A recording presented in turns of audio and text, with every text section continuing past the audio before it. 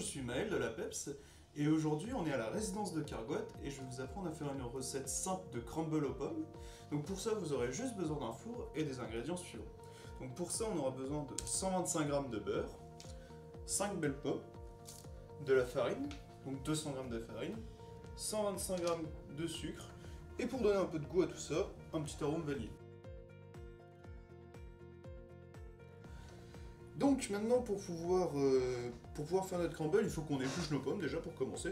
Donc moi je triche un peu. Un économe ce serait plus simple et vous pourrez le couper en fil lamelle, mais moi juste avec la petite machine, si elle se met à marcher, voilà.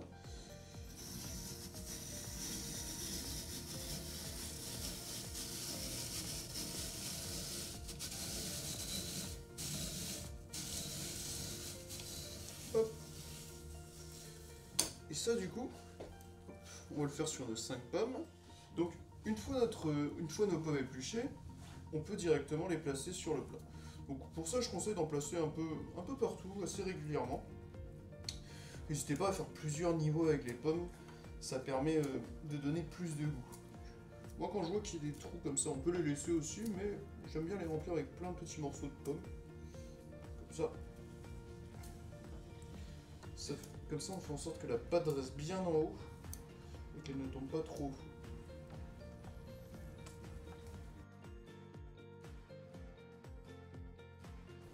Du coup, une fois le dressage fait, on va pouvoir commencer à faire notre pâte. Donc pour ça, il va falloir 200 g de farine. Il va falloir qu'on rajoute 125, 125 g de beurre. Donc pour ça, moi je vous conseille de laisser le beurre légèrement sorti pour qu'il soit un peu fondu parce qu'on va devoir le malaxer. Et ensuite, il faut qu'on rajoute 150 g de sucre.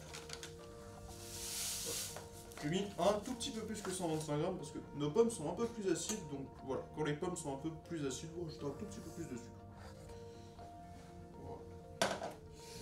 Donc euh, ça fait, on peut aussi rajouter, ce n'est pas obligatoire, mais c'est toujours sympa pour le goût, un tout petit peu d'arôme de. Ne mettez pas trop parce que sinon on ne sent que ça. Une fois que du coup tous nos ingrédients sont saladiers, il ne reste plus qu'à mettre un peu la main à la pâte, littéralement. Hop, on attrape tout ce qui est, ce ensemble en fait, le beurre, la farine et le sucre, et on mélange. Et en fait, il va falloir essayer de faire une sorte de pâte euh, un peu granuleuse, ce qui va donner un peu tout cet aspect au, crumble. Une fois qu'on a un aspect un peu granuleux de tout ça, c'est bon, notre pâte est prête, il ne reste plus qu'à la disposer. Donc pour ça, c'est ça. Vous prenez juste ça. Hop. Tac. On tapote, histoire d'en répartir bien équitablement un peu partout. Voilà. Une fois que le tas est dessus, moi ce que je, te ce que je conseille, c'est de prendre et de secouer un peu, histoire que l'on en retrouve partout.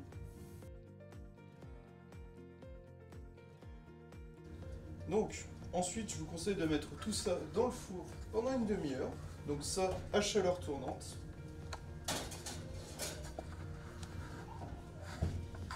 Voilà, plus qu'à attendre une demi-heure.